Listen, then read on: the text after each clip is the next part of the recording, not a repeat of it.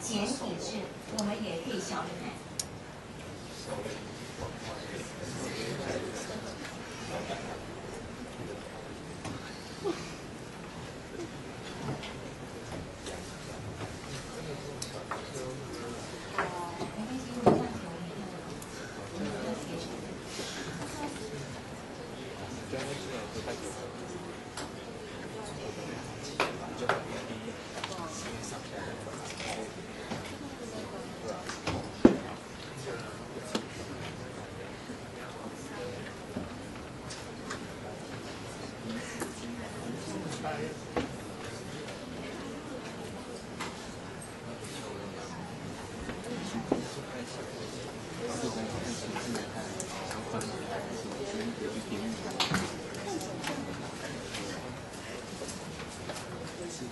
先生。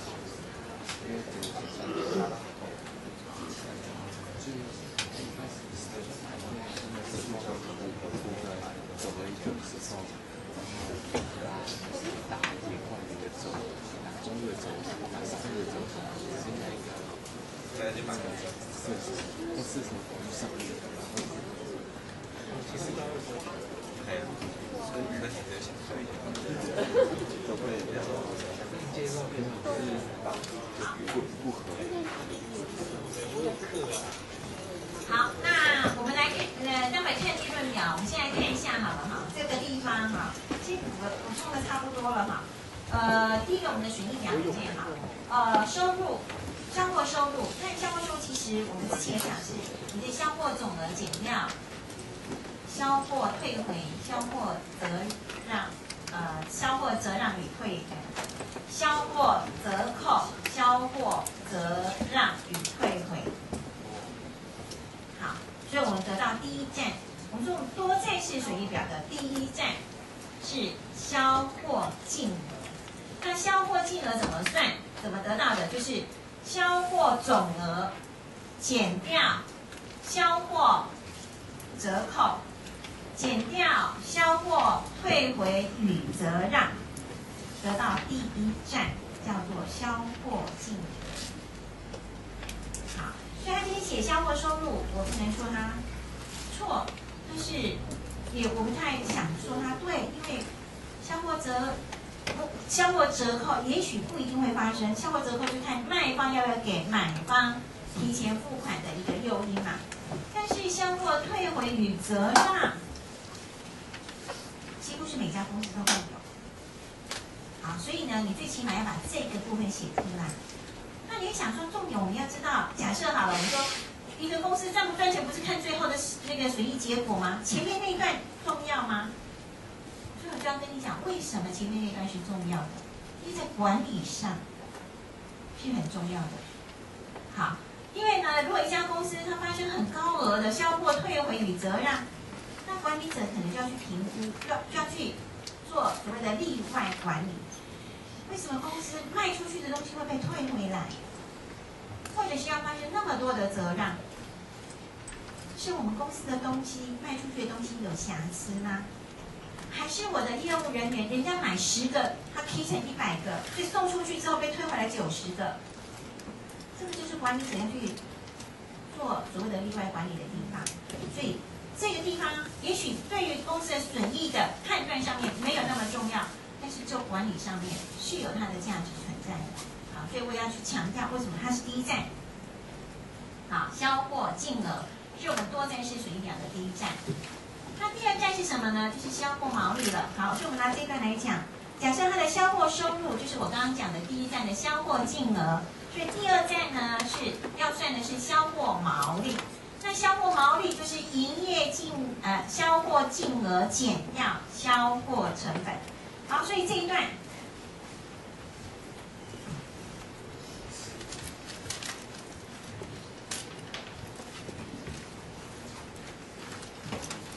这一段就是销货成本，好，所以这样子算出来是我的销货成本没错。所以期初加期初存货加本期进货成本，好，本期进货里面呢，你有可能发生什么？进货运费、进货折扣、进货退出与折让都有可能发生。所以这个得到的是本期进货，我把它当做是本期进货成本。好，等到期末存货，那就得到销货成本。那这个是什么？这样是一个什么样的盘存制度所产生的写法？定期盘存制。我们说定期盘存制呢，是先得到销货成本以后，我才能够知道销货款，先得到期末存货之后，我才可以知道销货成本。但是永续盘存制是不需要的，好吧？假设你有忘记了，我们在讲存货的时候，会再跟花一点点时间再帮他复习一下哈。好，这是第二站。我们要得到的销货毛利，所以销货金额减掉销货成本，得到销货毛利，这是第二站。好，第三站呢，就是营业净利。好，那个伊米写的这一段呢，其实是没错，好，但是呢有不完整的地方，不完美的地方啊，哈。我们的营业费用可以分成销售费用、管理费用，甚至我们还有个嘛，如果一般的科技产业。它可一一般的科技公司呢，它还会分出有的研发费用，因为研发可以适用什么奖励措施，可以抵税啊。所以一般你看一下科技公司，它大部分绝大部分都有把它分成销售费用、管理费用和一个研发费用。但是我都可以把它列成营业费用，OK 的。好，那我刚刚讲他写的，英语写的不是很完美的地方，是在于我的销售费用可能有薪资，可以销售运费，可能有保险，但是管理费用。不是只有折旧，再者，折旧也不是只有发生在管理费用而已啊，它的销售费用也有可能有折旧啊。比如说，我的门市所有发生的成本，所有发生的支出，我都当做是销售费用。我们是租金，我租了一个门市，付的租金，销售费用。我们是付的水电费，销售费用。我们是人员的薪资，销售费用。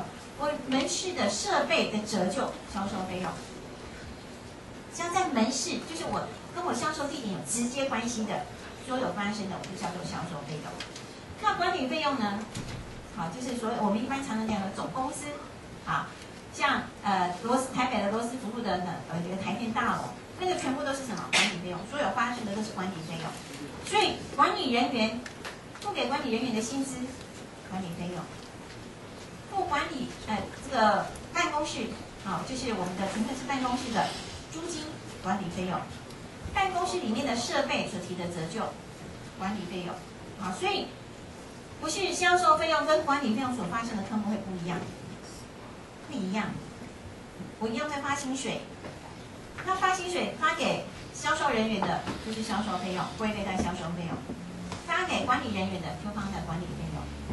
一样会发生折旧费用，折旧费用是这个营业部门或者是我的门市，好，想想门市所发生的，我就叫做销售费用。如果是我的管理大楼办公室，就是管理费用。所以这边不是很完美的地方是，这两个分类是对的，是没问题。但是里面发生的科目，它不会说有关发生在管理费用，就不会发生在管销售费用。好，这两边都可能都会有的。好，所以这样得到第三站。营业净利，没错。好，再来第四站呢，就是这一段了哈。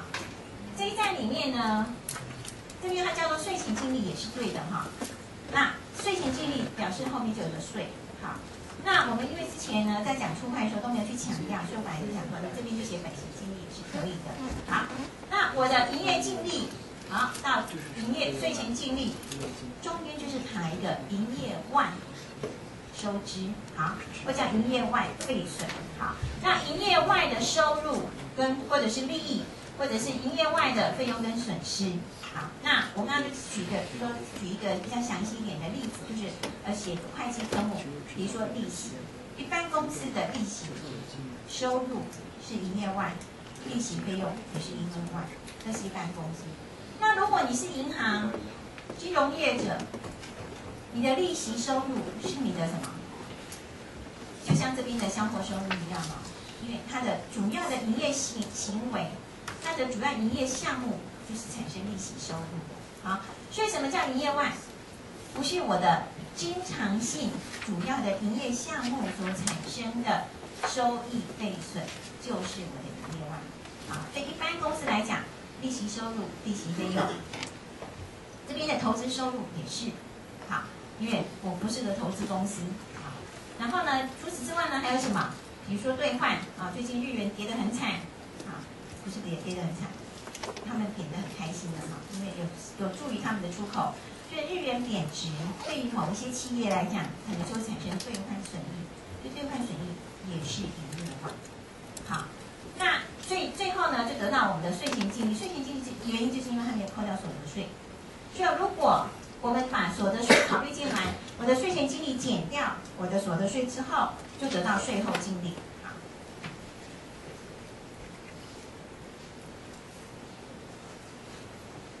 就得到税后净利。好，这是之前我们注会里面所讲的损益表到这里为止。好，当然我们的损益表讲到这里为止。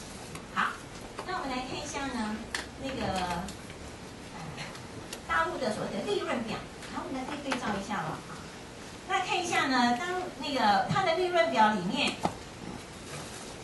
好，这个地方。相较于我们的销叫做毛利，好销货毛利，它其实很多公司呢，你去看上市贵公司，它的损益表它不会叫做销货收入、销货毛利，它就叫营业，它会叫营业收入减掉营业成本得到营业毛利。为什么？营业就是你主要营业行为所产生的。那你为什么讲销售呢？是你如果讲销货，你很单纯，这家公司是什么？是买卖点。其实很多的公司，尤其像好了华硕。华硕它本身制造电脑，它也代工，当然它现在已经拆分分家了，跟合作了哈。假设以前它有代工，它有自己制造自自有的品牌卖，然后它有负责维修，所以它的营业项目里面就有这么多个，所以你叫做销货收入，不是没有办法很完整的涵盖嘛？就很多的，尤其是你可以上那个股市观测站去看公司的损益表。它大概百分之九十九都是叫做营业，啊，尤其是制造业的部分，就叫营业收入，也叫营业成本，得到营业毛利。好，所以这一段像利润表里面这段就有点像我们的营业毛利。好，那这边呢，它比较特别的是，它把营业外放在这里。假设你写的是对的话，好，我们通常我们不会把营业外放在这里，啊，我们的营业外像我们就是放在比较后面。好这边呢，这两个地方它是算是颠倒的。好，所以我们的财务费用，我们的分的财务费用，啊，我们是把它叫做营业外。像我们的利息、利息收入、利息费用，这个都算是财务费用。好，然后呢，接下来呢，你可以看这边的这个地方呢，这个。这个我们今天会去讲到，好，所以这个科目在我们的水表也有，其实，在我们初会里面讲的水表，我们也把这个东西放进来。好，那这个地方呢，编排的方式就跟我们不太一样了。好，跟我们的编排方式就不太一样，但是整个结构的内容是不是一样？是一样啊，最后的损益的结果一样啊。只是它编排的顺序跟我们不太一样，所以我说你的利润表。不同，好，名称不同，那编排的顺序，假设你写的是对的话，它稍有不同而已，但是它要报道的东西是一样的类似。好，那对我们来讲，我们呃，我会觉得我们的编排的方式会比较有一点点逻辑，也不能说比较有逻辑，就是我们的编排的方式是我们的思考，我们有我们的一个呃思考的一个呃逻辑。因为呢，就一个企业来讲，我们如果要判断一家公司，它今年赚一百万，明年会赚一百万，还是赚的更多，还是更少？我们要看哪里？就是我们的我们的财务报表当然是历史资料去，就已经发生的事情去把它汇总过来的。但是我们的财务报表的一个目的，是要见往知来。我知道他今年赚这样子，那我要预测他明年会赚多少。那我要去做这个预测的时候，我就要去从它经常性会发生的。所以像这个营业外的，我可能就没有办法预期。它每一年都会发生，好，所以当我们在判断的时候，这是黑色的。好，当我们在做它的预测的时候，我们在做它的财未来的财务预测，我们可能会看到它的营业记录。好，因为这一段是经常性会发生的，所以当我在做财务预测的时候，我可能我看我参考的点会到产营业净利，那营业外，尤其像兑换损益。投资损益，这个都完全不在我的控制范围之内啊。它利息收入、利息费用也是一样啊。我的利率要升要减，要要要要加码要减码，会不在不在公司的一个控制范围之内。所以当我们在做它的财务预测的时候，我们的重点重点是在于公司本身能够控制的，就自己自主性比较高的部分，我们来做判断。好，所以像这种营业经理，当然是公司自自主性的经理，然后再来是什么？是经常性会发生的。所以后面这一段呢，通常就不在。当我们在做财务预测的时候，可能只是什么做参考而已，但不会把它当做是作为预测未来的一个主要依据。好，我们的主要依据会在前半段，啊，就是营业经理之前。好，这是我们初判里面所学过的损益表。好，那谢谢那个同学给我们看到这个利润表。好，那我们先休息一下哈。